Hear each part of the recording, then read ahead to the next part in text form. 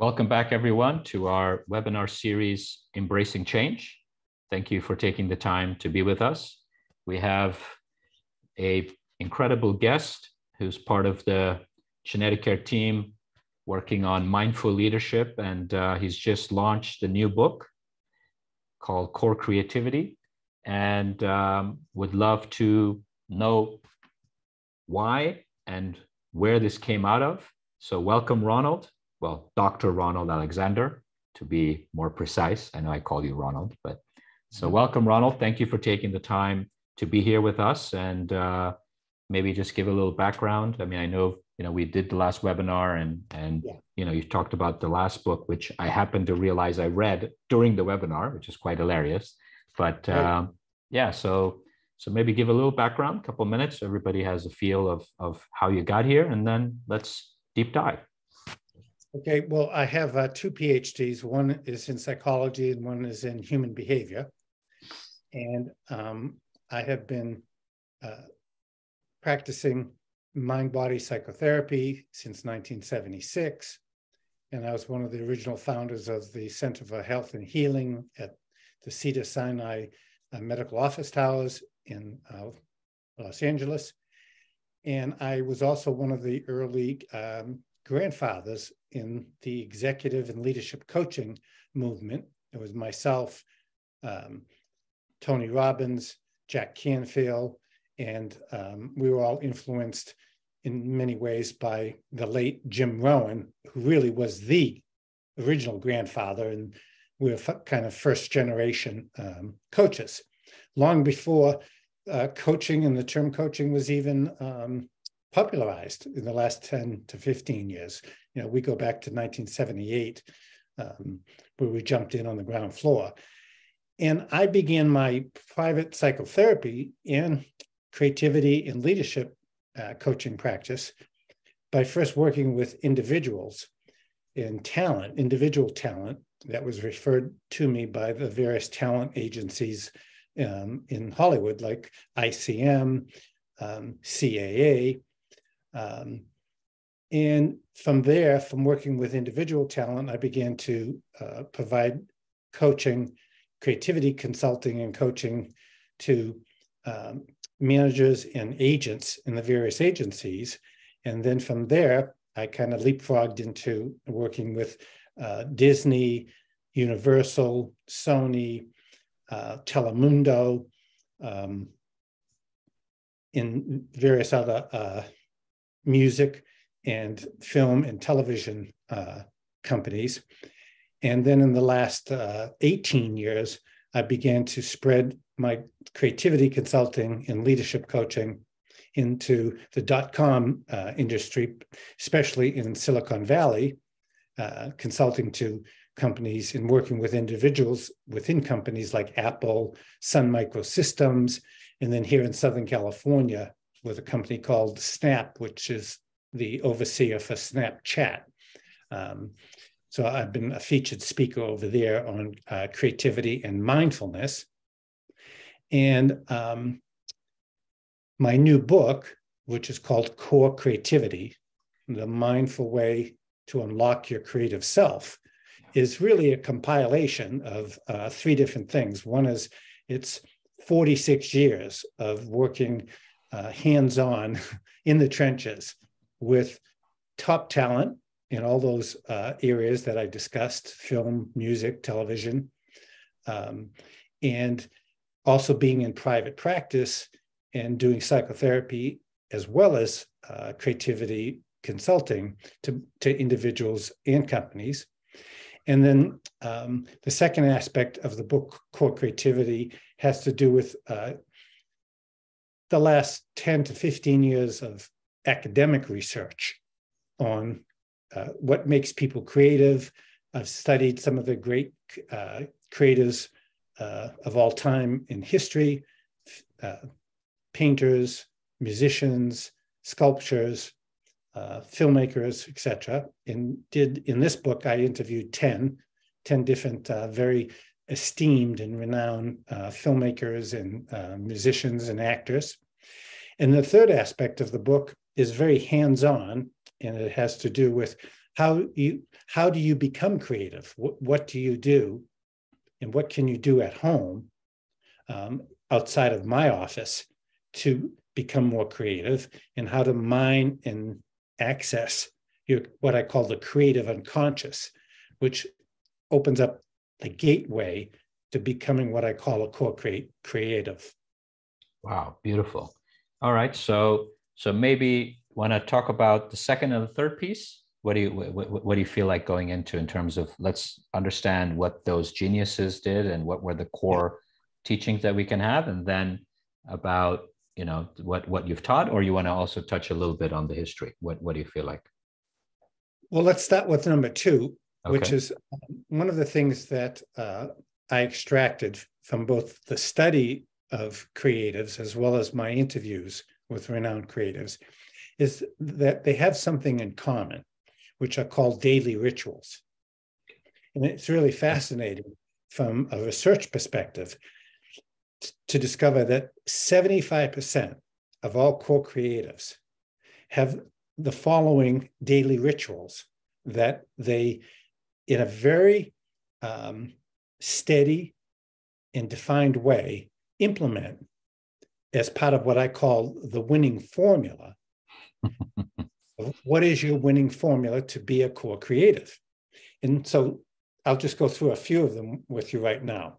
But fascinatingly, almost every uh, 75% of most core creatives across all disciplines arise in the morning at 6 a.m.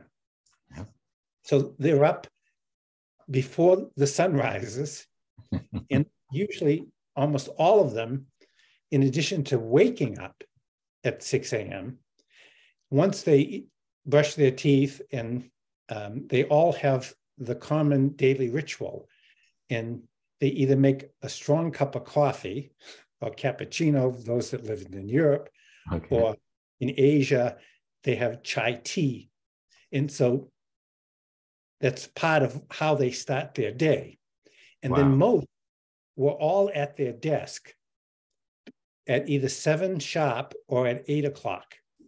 And so, for example, in studying um, creative, co-creative writers, um, Ernest Hemingway, who was known as a renowned drunkard and write in a very highly disciplined way, regardless of how wild and kind of a bacchanalian evening that he would have, where he'd be drunk as a skunk at 12 or 1 or 2.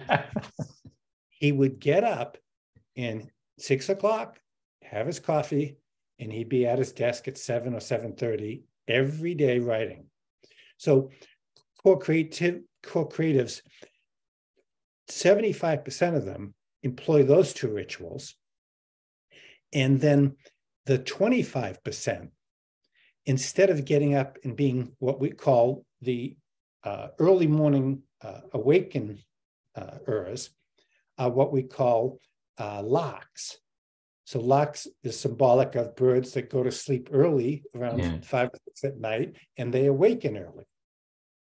So you have 75% of core creatives who are larks. And then you have 25% that are owls. And they're the people that they're sleeping 12, 1, 2, and then they get up and they have, again, most of them have coffee or uh, tea, chai tea or black tea. And they oftentimes don't start working until three or four or five in the afternoon, and many work into the wee hours uh, 12, 1, 2. And for example, when I was um, interviewing some musicians, uh, one musician told me that in the 60s, 70s, and 80s, the Rolling Stones would, the call when they were making a record would be at 10 o'clock at night.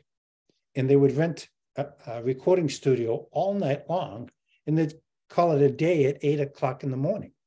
Was that but, because of cost effectiveness, or was it is it when they were doing well, or this was when they were starting because up? they were they were owls. Ah, okay, so nothing to do with the fact that they were starting up. Okay. No, no, they were they were owls. They they're um, as a as a group, yeah. they all have to create and perform uh, best at night. At night. Okay. So, um, so you, you have two categories of owls and larks yeah. um, amongst co-creatives. Creatives. Then a third daily ritual, which is really fascinating, is almost 80 to 85% all reported that they perform what's called the daily walk. And so let's just take a, a creative in the dot com industry, Steve Jobs. He was famous for whenever he had to make either a creative decision or a leadership decision. For example, when he hired um, Sculley, who was working at uh, Pepsi Cola, he was the uh, CEO over there. He took a walk with Sculley for several hours, and that was the interview. Like they, they took a long walk, and he trusted in the process of that when you're moving, because one of the other things that I wrote about in the book is that when you're moving, you're breathing more. Okay. And when you're breathing more, you have more access to both your feelings and your creativity. Yeah. You, you were going to say something. No, no, I'm just, yeah, I, I agree 100% with that space. So they were walking always together, or some were just going for walks in general? Um, most would go for walks alone. Okay. Some would invite their significant uh, partner, but that the the concept of either walking before they sat down to create, okay, or uh, there was a very large percent that would work, let's say, from seven or eight in the morning all the way to one o'clock. They'd take a nap or t- uh, have di- uh, lunch, uh, take a nap, and then they'd take a long walk. Okay. And then they'd go back to their desk at four oh. or five, either do editing or a musical uh, composition, uh, rearrangement.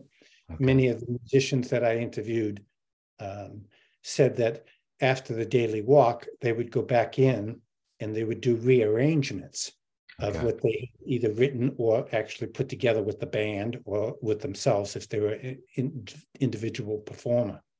Okay. Another daily ritual that I found really fascinating, and it is that almost all of them, both historically and in current time, employed either meditation some form of prayer, whether it be Christian contemplative or Sufi or uh, Islamic, you know, the, the praying of five times a day to certain directions where there's some physiological movement where they bow down on, on a, a carpet um, and they carry a compass, and that there's something that gets stimulated in the neurotransmitters in the brain that some form of meditation or prayer or yogic or Tai Chi experience or Qigong yeah. opens up the neurons in the brain that stimulate creative production. Wow. So that when you enter into a meditational or contemplative state of mind, it changes your body yeah. and then your body's physiology because the base, the brain is not just in the head, but the brain goes all the way down the thin brain stem and all the way to the base of your spine and your spinal column. That's all part of the brain. And um, most creatives employ taking time once or twice a day to sit in contemplation. And so, for example, and this is um, someone that it was not a traditional uh, artistic creative, but the, the founder, Ray Kroc of McDonald's, yeah. he took an afternoon walk and then he would sit in his chair and he didn't refer to it as meditation, but he called it thinking time. But he was clearly meditating. But he was he writing? Had, was he writing or he was doing nothing? He was just nothing. Just okay. he would sit sit in his office, okay. sit in his chair. Okay. And for and how long? Any any time or just minimally 15 minutes up to an hour. Okay. And in one of the um, of these sitting sessions in, in Zen Buddhism, we would say he was practicing Zazen without knowing it, is he actually saw the image of the art Okay. of the arch, yeah. which became the symbol of you know uh, the, yeah. yeah the McDonald's. Okay. And then when I studied Walt Disney, Walt also spent many times a day sitting quietly. Again, he didn't call it prayer, he didn't call it meditation, but he certainly called it thinking time. But he wasn't really thinking. He was actually emptying his mind, as we say in Buddhist meditation. He was emptying the mind out, and then he was trusting that his unconscious, and it would give him Snow White, the Seven Dwarfs, Mickey Mouse, uh, Disneyland, um, Epcot, yeah. because I consulted to the uh, division at in the 80s at uh, WED, which is Walt Elias Disney Department of Creative Imagineering. Okay. And so they brought me in between 81 and maybe 84 when Epcot finished in Florida. That was Walt Disney's last vision Oh, of what was next. That was the end of the line because he died. okay. And so all of the producers, the directors, the filmmakers, the, the writers, the animators, they all went into kind of a state of grief or loss Yeah. because father, his last vision. So what are we going to do next? Yeah. And so I was brought in to, to work with them um, on helping them to work through grief and loss, but also to stimulate future creative vision. Yeah. Okay. Amazing. Okay, incredible. So these were these were the habits you saw. And any so some were doing it after the walk, which is great because you're emptying as you walk, and then you allow the all the all the yummy stuff to surface. Right. That's that's amazing. And there's something about the psycho, I call it the psychophysiological relationship between movement. If you think of a triangle, movement, um, breathing, and then feeling, and then in the center of the triangle is creative imagining. Yeah. So that as you move the body and you you download stress, you download or offload um, anxiety. It gives you a time to pay attention to what feelings or emotions that you're having that in the hectic aspect of of one's day, whether you're working individually as a creative or you're part of a team, Yeah. there's so much stress. And you being an entrepreneur and a head of a company, you know um, you, you're managing a lot of people as well as managing yourself, Yeah. and that creates stress. Uh, but stress is not a bad thing. That's another thing that um, my research showed is that stress is something that creatives thrive on. Exactly. Exactly. Yeah. You can harness it and you can utilize it and you can ride it like a wild stallion, Yes. but with this contemplative and quiet time into uh, the walking and moving, Yeah. you can direct the energy of stress of the horse of self into the creative direction that you want it to go. Yeah, I'll, I'll tell you a story if you don't mind. So years Yeah, ago, the Wall Street Journal called me and they said, Feisal, um, the top echelon in the corporate space are upset. So there's a big announcement. A vice chairman ended up with cancer, and they said uh, they're blaming corporates for the stress, and as a result, we get sick. And I said, I completely disagree. I'm more than happy to come on a video on TV, live TV, but just know that I will push back if you try to steer me to what they're saying. So I got on TV and I said, all innovation and creativity happens in what is classified as stress out of your comfort zone. The issue is not about being in stress. The issue is our inability to de stress, which is what you're referring to that time to do the movement, to do that contemplative quietness and stillness. And I said, if we apply that, the actually engagement with stress takes it to another level, which you're referring to. So just wanted to share that. That's You're right on the mark on that, and you know that's that's a very brilliant um, insight. That um, if you harness stress, another aspect of uh, the research shows that you can transform and transmute stress into creative uh, output, Yeah. and that you don't creatives don't want to stay in their, their own lane. They don't want to stay in um, what's formulaic. Yes. Businessmen oftentimes are very successful because most business is formulaic. And so whether they are thriving or they go through periods of loss and change in business or downturns, they oftentimes uh, revert back to the formula, or what I call the winning formula uh, that they had. And I usually help uh, businessmen and women who uh, are going through a breakdown period or uh, experiencing a downturn or a loss in their business, but to view it as a, a breakthrough possibility. Yeah, exactly. What's the opportunity in, here? Yeah. In creatives, don't want to stay in their zone. They want to ride the wave, just like a good surfer wants to catch a big wave of stress to take them outside of their zone of comfort. Creatives feel that staying in your zone, or as we say, staying in your lane, that that's a death knell. Um, creatives, like for example, if you take uh, Jackson Pollock, the modern artist, in um, Mark Rothko, who were two uh, modern artists out of uh, New York City.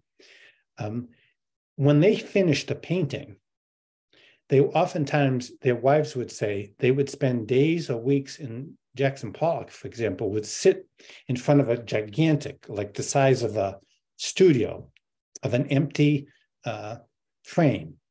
And he would just sit there and smoke and drink coffee, just staring at this white canvas for days, weeks, or months. And then all of a sudden, his wife would, said she'd see him in there painting with the buckets of paint. And same thing with Mark Rothko. Just let it out. They just let it out. Yeah, because in the silence, and that's what the book called Creativity is teaching people to do, you learn to sit in the silence and you learn to listen with the third ear. And that's the ear of the core creative.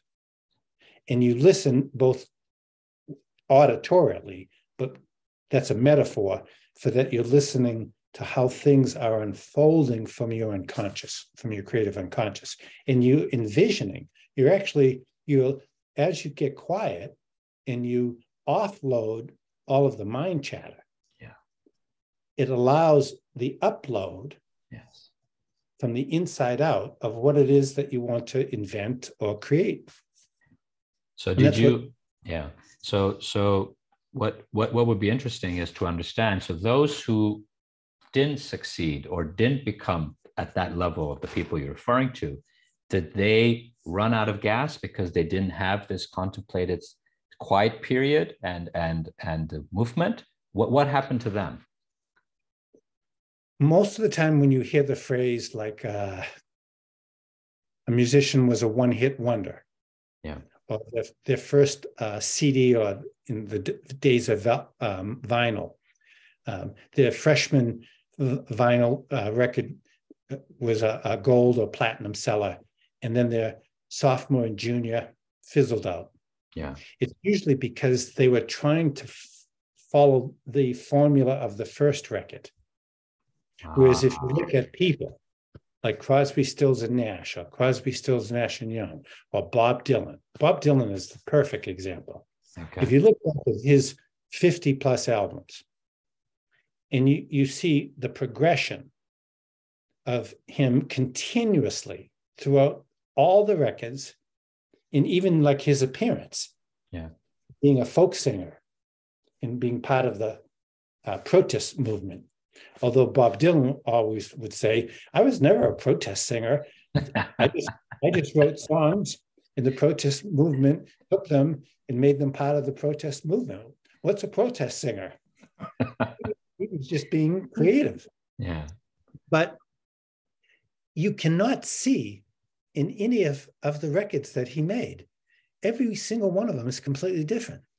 So there was no pattern, there was no system, there was no Okay. So he no. reinvented himself each time. He was willing to yeah. control alt delete and reboot and rebirth. So he's continuously rebirthing. Yeah.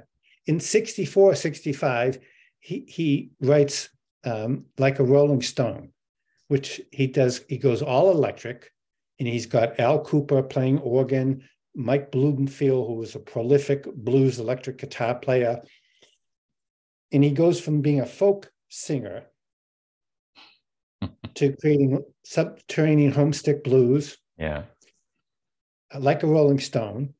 It has this prolific explosion and takes the whole music and record industry. For example, the recording of his folk song, Mr. Tambourine Man, yeah. well, the Byrds, who were originally all folk singers, they heard the Beatles. And so they took Hey, Mr. Tambourine Man, and they went electric with it. And that was all Dylan influenced. And Dylan actually even flew out from New York to be part of uh, listening to, to them uh, recording and playing uh, their new sound. And they, they were the forerunners to all of the folk rock groups. You know, the Byrds gave birth to the Buffalo Springfield, Crosby, Stills, Nash, Crosby, Stills, Nash, and Young Poco, the Eagles, and I could go on, you know, all evening. But you see, the gem that they possessed was that they had the capacity to mine into themselves rather than to sit and say, what would the market like? Yeah. Almost all core creatives don't create for the market. Yeah. They do not think what's going to sell. Yeah, exactly. They actually link up to what is coming out of them from the inside out.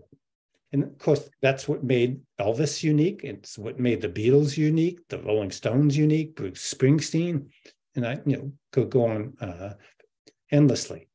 Yeah, because even when you're running a business, right, and and you go through, like you're saying, that you know, about to go through another breakthrough, and the question always is, what got you here will not get you there but that's the core is how do i go back into my core get rid of the, the noise which is what you're talking about the mental noise go back into my my core which is you know my my gut and my heart and let it you know emerge and surface once again.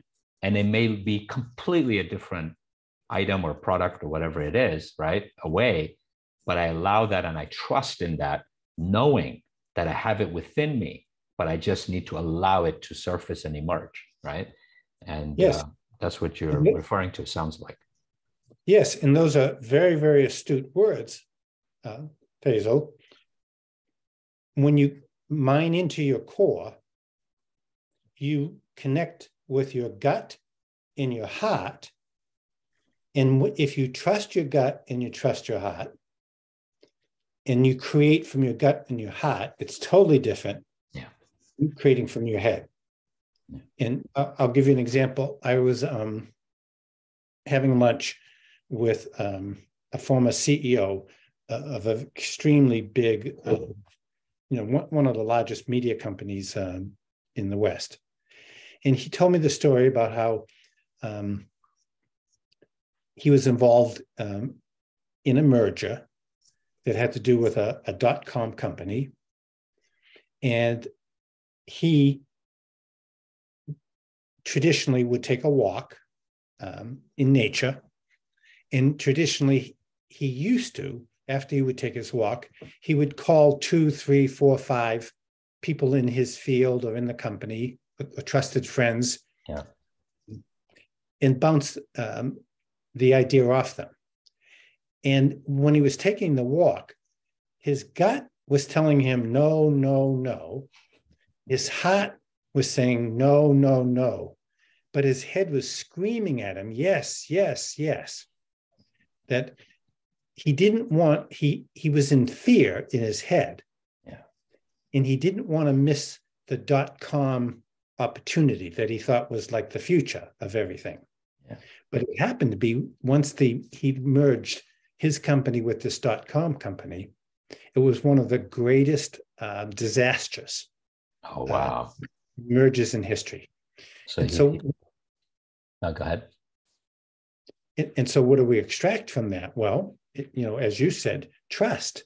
He didn't trust his heart and his gut. He listened to his head.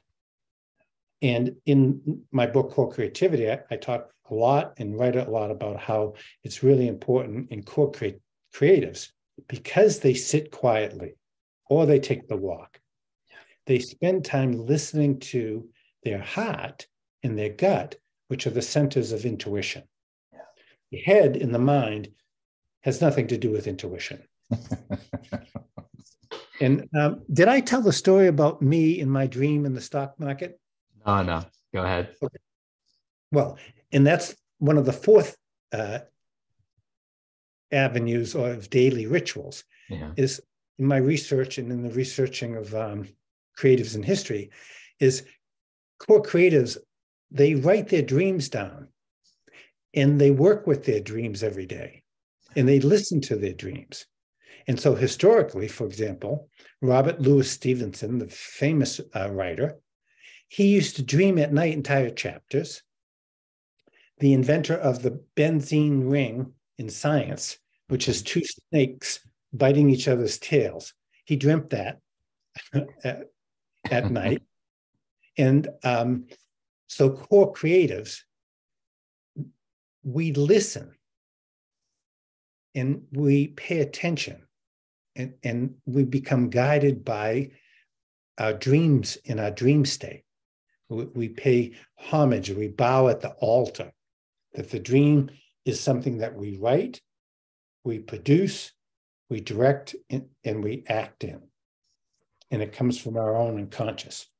And so, for example, in 2008, um, I was down in Australia in early September, and I was on a t- teaching training tour of um, Sydney and uh, Northern uh, Rivers, uh, Brisbane, etc. And I had a dream. New York Times, stock market crashes. Los Angeles Times, worst disaster since 1929. So I wake up, I write it down, have a really bad feeling. So I call my stockbroker and I say to him, I want to sell everything. You know, and we're talking like millions of dollars. Yeah. He goes, Why do you want to sell everything? You know, market's doing great. I said, um, well, I had this dream. So and he goes, "Oh God, dreams and psychics and gypsies and astrologers. If if if, if I moved people in and out of the market based upon what they dreamt, um, we'd never get anywhere." Three weeks later, the market crashes in 2008. And so I learned a valuable lesson. Don't listen to your stockbroker. Trust your heart. so you didn't exit. You didn't exit. I didn't exit. Oh my God. It wow. Me, it took me five years. And I, am sharing this because I want people to, to know yeah. that it's really important that we all, at times, no matter how sophisticated we are, and I'm a very sophisticated intuitive, you know, practicing psychotherapy and meditation for 46 years. Uh, I have a frequency that I can go right into but I didn't listen, you see? Yeah. And now, you know my my broker says to me? He calls up occasionally and he says, Hey, have you had any dreams lately?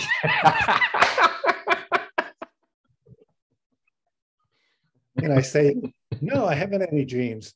Well, I, I, are you writing them down? I mean, you're going to call me, right? Next time you have a dream.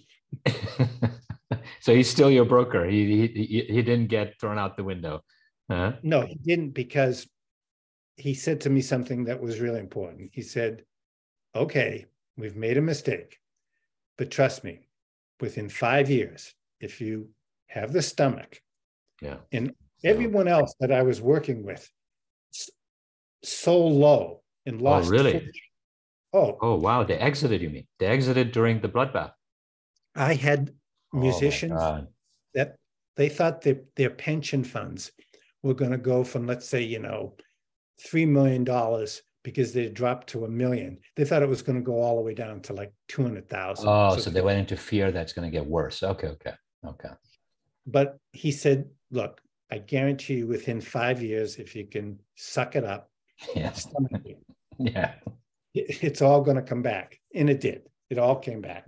Okay. You know, to this day, everything's fine. Okay. But I, I, I have an agreement with him that next time I have a dream and I call you, if you refuse to pull the, the trigger, I'm going to pull it myself. okay, that's that's a deal. that's amazing. So so interestingly, even the younger, even the ones that are more more closer to today, nobody's playing sports like golf or tennis or swimming. They're all just going for walks. That was the common denominator. Well, that was the common denominator. They all, in addition to the daily walk, they do tennis, golf. Ah, ski. so the walk is in addition to the sports. Yes. It's almost like sports are sports, but ah. there's something about ah. daily walk. Okay. And young people, most of them have all read the autobiography uh, I, Isaacson wrote on Steve Jobs. Yeah. And what does Steve talk about? He talks about that he made many of his both creative and um, leadership uh, and management decisions on, on his own daily walk.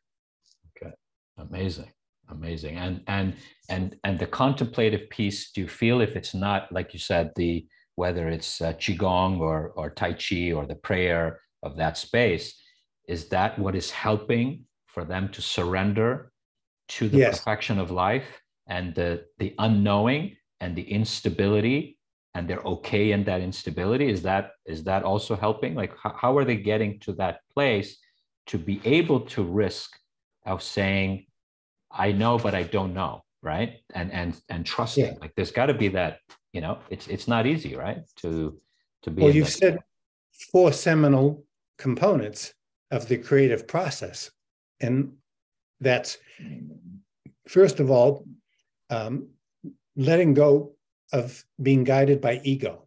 Yeah. And ego is oftentimes connected to rigidity, and rigidity is connected to the need to be into perfectionism. Okay. And perfectionism is going to kill you all the time.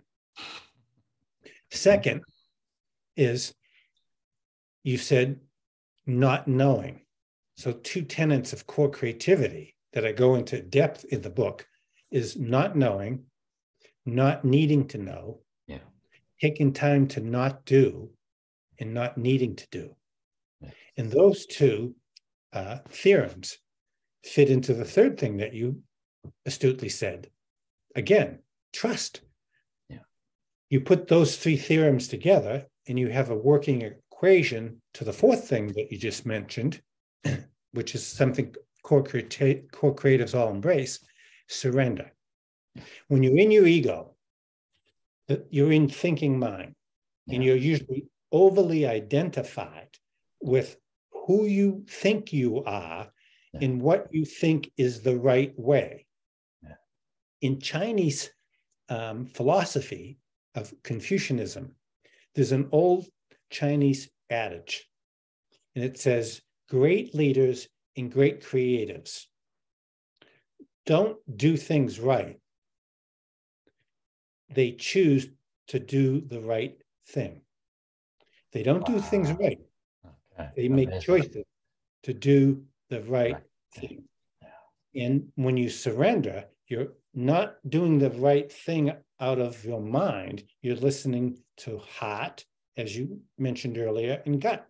Yeah. And you made that very nice connection between heart and gut is intuition in creatives, whether you're in leadership or you're in the, the arts. Heart, gut, breath, body movement takes you into the unconscious. Surrender. So you surrender. You you lose your mind yeah. and you come into the sensations of your body. So we lose our mind and we come into the sensations, and the sensations are connected to the stream of creative flow. In the stream of creative flow is when you, again, when you surrender. When you're watching Michael Jordan or Kareem Abdul Jabbar or LeBron James play basketball or Magic Johnson or Larry Bird, you see that they're in the zone. Yeah.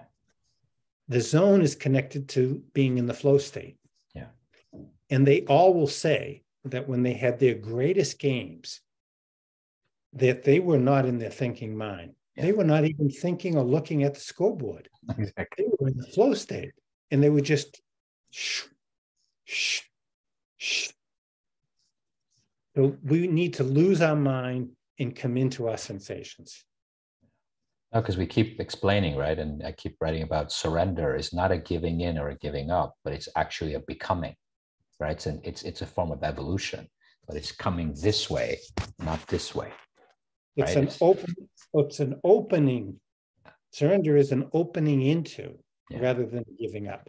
But you know, a lot of Western leaders hear the word surrender and they think, you know, like the end of a war, you know, they surrendered. in the mystical, in the um, Buddhist traditions and other spiritual uh, systems of thought and uh, meditation, surrender means an emptying. You know, there's the famous story that I think I'll, I'll complete with yeah. tonight. Yeah. And that's there's a young student and he's in Japan and there's a Zen monastery on Mount Fuji. And he comes to the gate and he knocks on the door. And every day he's told for uh, two weeks to come back the next day. So he finally uh, gets to meet the uh, Roshi, the Zen master, the sensei. Yeah. yeah.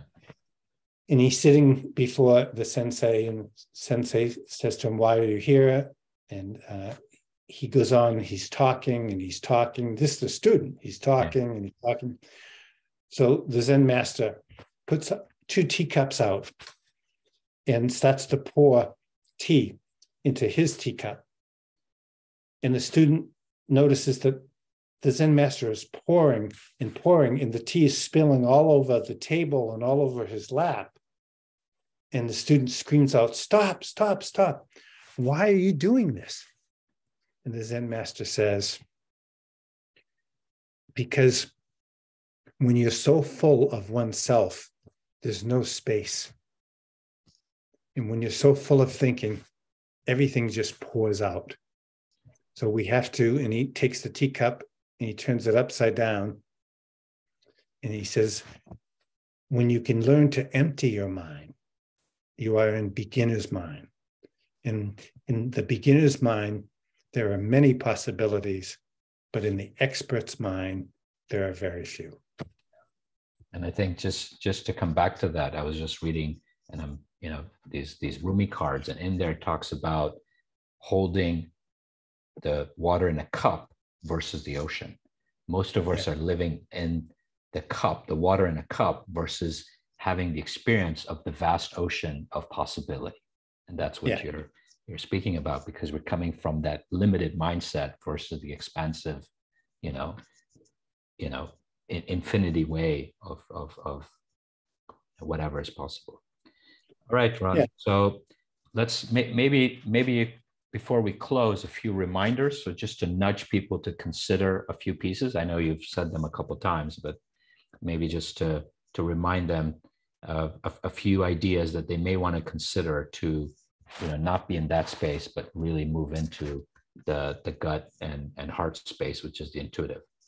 Anything you yes. want to sure. Number one is um, have either your iphone or your mobile phone to record your dreams in or note cards or a, a, a, what i call the mindfulness journal in my first book wise mind open mind write your dreams down every morning and then spend some time working with your dreams. And in core creativity, I, I describe a gestalt therapy process of how to work with your dreams. Two, become disciplined. Creatives are not, most people oftentimes think that cre- creatives are very watery and loose and kind of create only when they want to and go with the flow. No, creatives are at their desk at six, seven, eight in the morning um, so have some structure. Almost all the creatives I interviewed, structure. Three, take the time each day to sit quietly, whether you just want to call it quiet time or you want to meditate in a more structured way. It doesn't matter what type of meditation. The, the method I work with is mindfulness meditation, but I've studied the cross cultural systems of at least 10 uh, other forms of meditation in the last 48 uh, years of my life. Prayer, contemplative, Christian contemplative prayer, and then on and on and on, whatever spiritual discipline that you feel most aligned with. Spend a minimum of 20 minutes, once, if not more, tw- twice a day, morning before you start, and or before dinner or before bed. And then let that 20 minutes build up organically, where you get to about 40 minutes. Uh, three, employ the daily walk, morning or midday. I like to take the daily walk uh, midday and then come back, have a very, very, very light, light, almost like a liquid or a soup lunch. And then I meditate because I, I don't want to have my afternoon where I'm trying to digest. Yeah. Um, and then uh, lastly is employ and embrace the mantras and the axioms of not knowing and not needing to know, not doing and not needing to do, and live by those. And lastly, employ the notion of surrender into the flow state and trust in the surrendering to the flow state, which means you have to take time each day to reflect on getting into the flow state. All right. Beautiful, Ronald. That was incredible. Thank you. Thank you. I haven't read the book yet, so naughty me. I know that I should be the first one reading it since we are taking care of families in many, many countries together. So thank you very much for that beautiful, you know, concise and also the storytelling that came with it. I think, I mean, I've learned a lot. The only piece that I'm not doing of all of those actually is the chai and the coffee. So I make my chai every morning at 6 a.m. Okay. I, have a cappuccino midday, like either 2:30 or 3. All right. So thank you very much. Yeah. Thank you very much, Ronald, for for your time and and and the genius within you. Really, truly, truly grateful. We appreciate it from the bottom of our heart. And thank you, everyone, for being with us and taking the time to engage and uh, hopefully put in some of the practice that Ronald has shared. Maybe some of you are already doing them, but uh, I nudge you to consider because it will really be game changers. So again, thank you. Thank you, Ronald. And thank you, everyone.